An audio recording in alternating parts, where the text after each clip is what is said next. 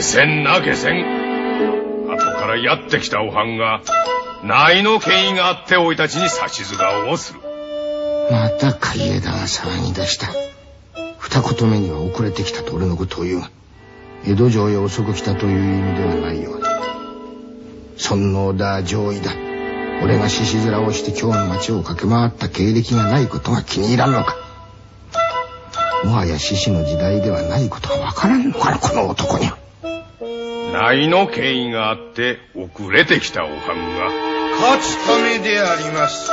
将棋隊を攻めるちやっとじゃな。ジャットン、三千に足らぬ兵力で、五千に近か将棋隊が撃てもすか。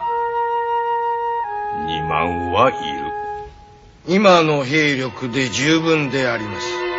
構成三倍の原理注文がごわす。上野は白じゃ。攻撃するには三倍の兵力がいる。コンテストは動かすことはできまん。あんた戦を知らんのだ。武士に対して戦を知らんとはないじゃ。もう一遍言うてみやいあんたは戦を知らん。帰らの帰らの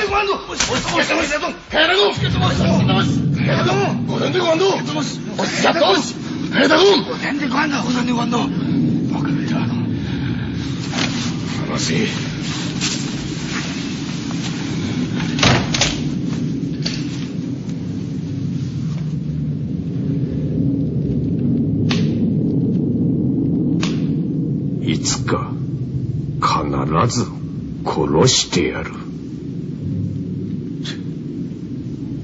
戦を知る知らんは冷静に考えれば子供でもわかる。上野の山を二千三千で囲むとする。配置は三軒に一人の割合となる。山から兵が突き出してくれば自由自在にあぶられてしまう。誰が上野を攻めると言いました？今夜じゃなぶる気か。内のために大総督の宮を諸教のご臨席を願うて軍議を招集した。将棋隊征伐のためでなければないの軍議じゃ。すでに言いました。和戦いずれになるにせよ、すべて私に任せていただきたいと。戦になるのは分かりきっちょるとなると任せる任せぬま納得できる戦術があるかどうかじゃうん。夜打ちがよかが古来少数でもって攻める方法は良い草と決まっちょる。どうじゃ？うん？もう、やしおやしみんな海江田の顔を立ててやるつもりでおるところで先生が一言言えれば海江田も満足して引き下がるじゃろうが困った連中だ。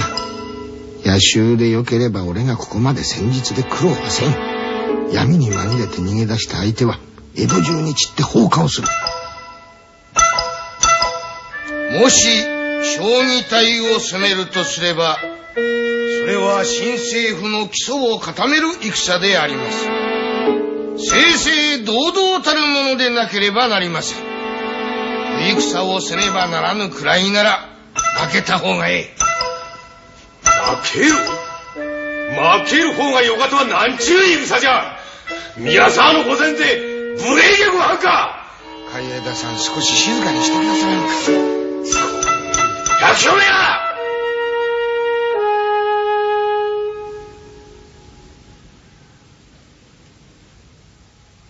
海江田殿、神に対して恐れがあろう。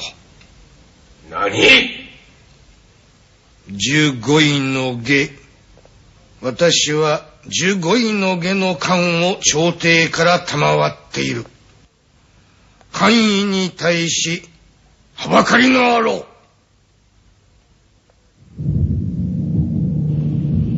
こんままでは表情が分裂します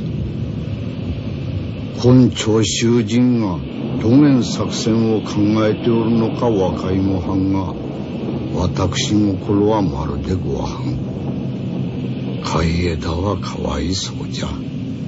昔はひたむきな情熱を持っておったどん。今は栄達にだけ心を奪われておる。そろそろ後へ下がらせもんそ。大村殿があのように申される。ここは一つ大村殿の軍配にお任せしもんそ。